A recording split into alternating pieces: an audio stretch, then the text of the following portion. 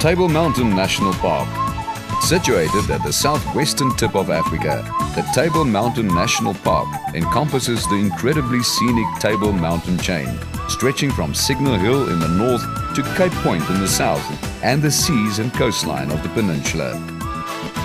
The narrow finger of land with its beautiful valleys, bays and beaches is surrounded by the waters of the Atlantic Ocean in the west and the warmer waters of False Bay and has within its boundaries two world-renowned landmarks, majestic Table Mountain and the legendary Cape of Good Hope.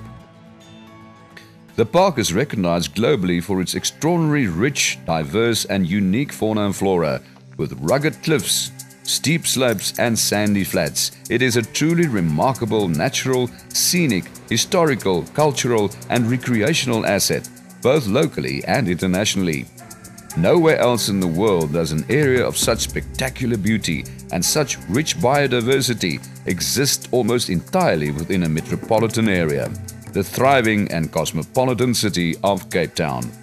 A unique feature of the Table Mountain National Park is that it is primarily an open access park with only three points where conservation fees are payable Cape of Good Hope, Boulders, and Silvermine. The rest of the park is open access and free for all to enjoy.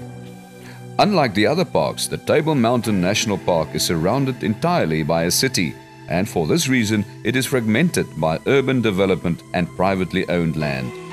This, combined with the fact that it is primarily an open access park with only three managed pay points has resulted in it being the most visited of all national parks, receiving a quota of 4.2 million visits annually.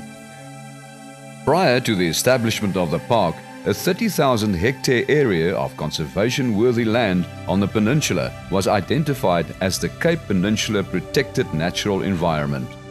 Currently, the Table Mountain National Park includes 25,000 hectares of the Cape Peninsula protected natural environment, and it is our goal to incorporate the remaining 5,000 hectares into the park. The Table Mountain National Park's jurisdiction also includes 1,000 square kilometers of the seas and coastline around the peninsula.